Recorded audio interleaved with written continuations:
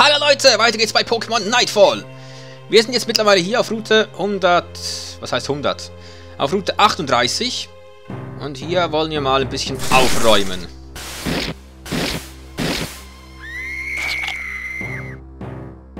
Habt ihr den Schrei gehört? Wow. Einem Miltank sind wir schon mal begegnet, wollte ich sagen. Und da sind noch ganz viele andere Miltank. Route 39, ja, ja. Da unten habe ich was gesehen. Blutzuck. Blutzuck, komm her. Blutzuck. Nein, shit. Äh. Christa stand im Weg, habt ihr es gesehen? Na, oh, fuck. Aprikoko, brauche ich nicht. Oh, Christa. Unsere bekömmliche Milch, ja, ja. Gehen hier erstmal in den Stall.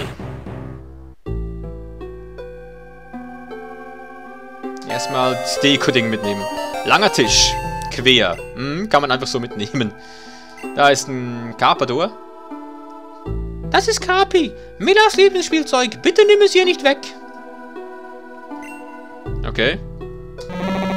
Oh, der Ruf von ihr ist schwach. Milla ist krank. Es braucht dringend Medizin. Rede bitte mit meinem Papa. Er ist im Haus nebenan. Oh, nicht, dass ich dieser Kuh jetzt Beeren mitbringen muss. Die brauche ich selber für mein Vivi. Hallo, Typ. Oh, hallo. Ähm, Sie sind darüber nicht erschrocken, dass hier jemand einfach so reingekommen ist? Nein, nein. Die Streuner kommen hier nicht mehr auf die Farm.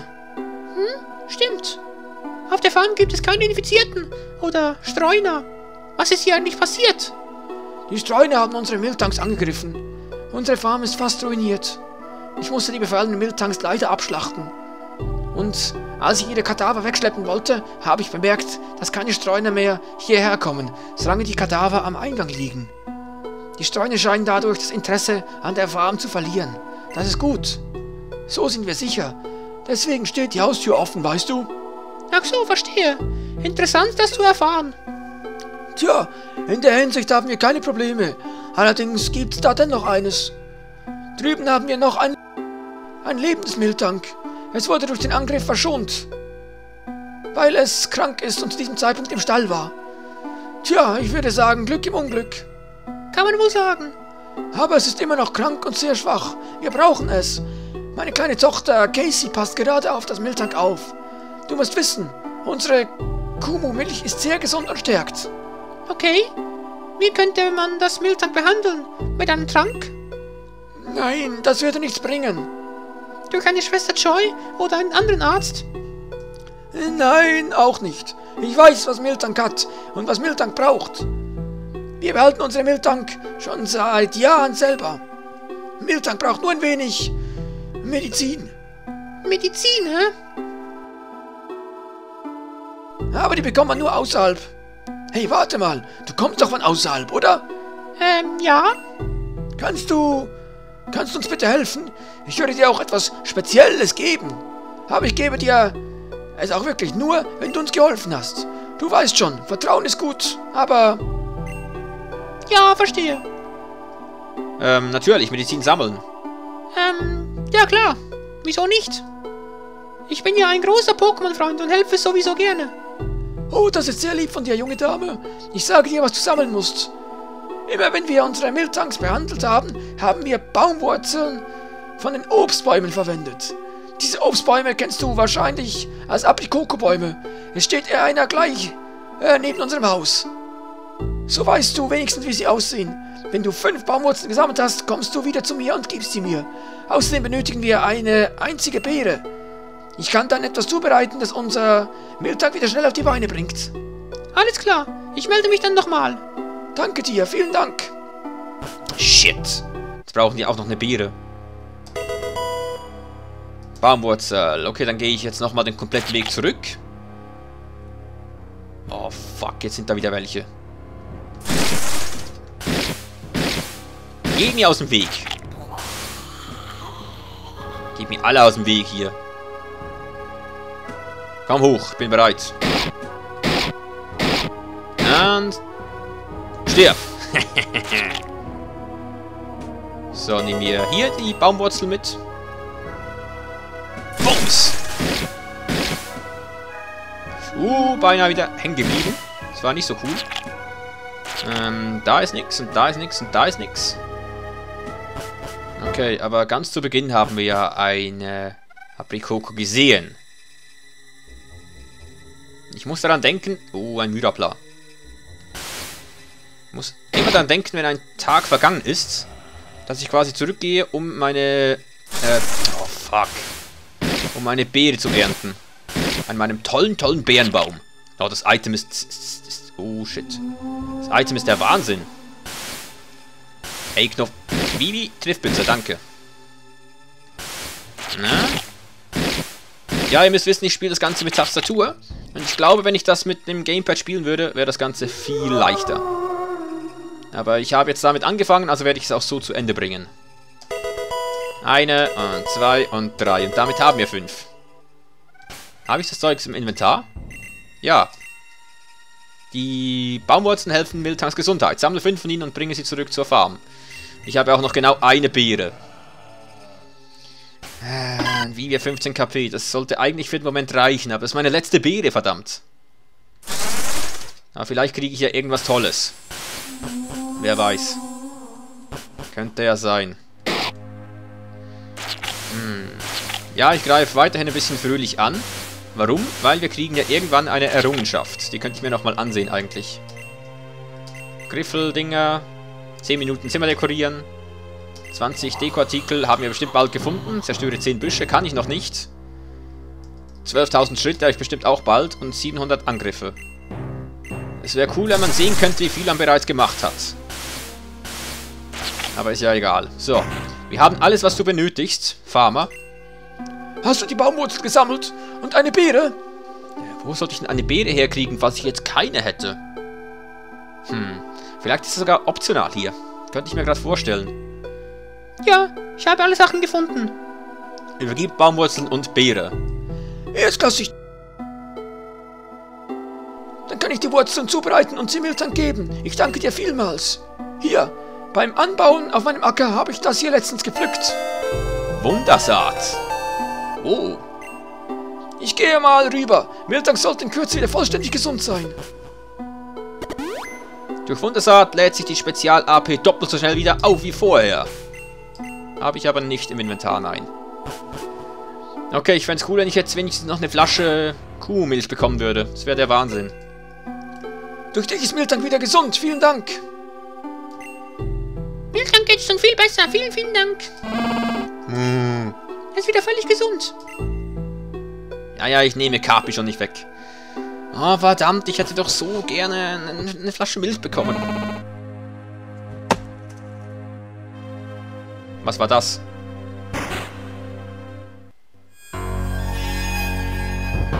Verdammte Scheiße, das junge Blag. Was zum... Was hast du getan? Ich habe das Miltag geschlachtet. Das Fleisch ist nun wieder gut und kann verzehrt werden.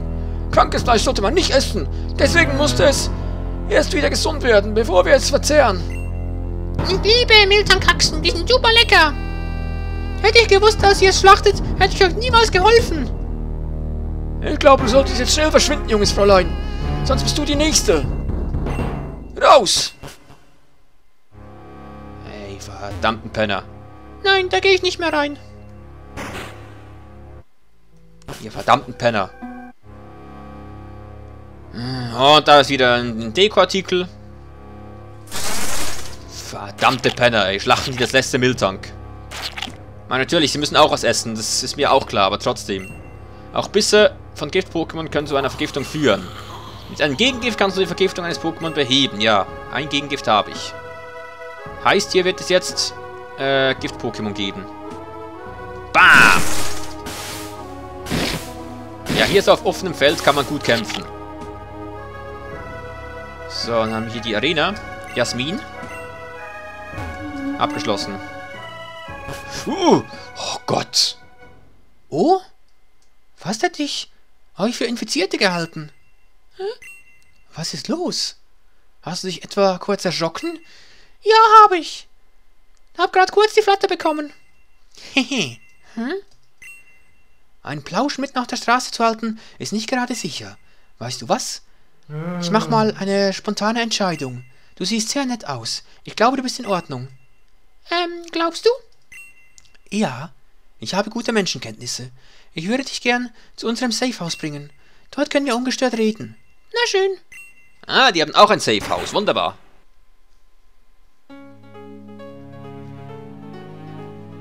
Sieht mir irgendwie altbekannt aus. ja gut, ein kleines bisschen. Da wären wir. Unser kleines, aber feines Safehouse. Zeit für mich, äh, erstmal vorzustellen.